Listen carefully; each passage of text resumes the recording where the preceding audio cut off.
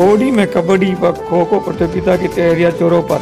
रानी तहसील के बोर्डी काम में तहसील स्तरीय रानी ब्लॉक की कबड्डी व खो खो प्रतियोगिता की तैयारियाँ बोर्डी स्कूल में जोरों पर चल रही हैं।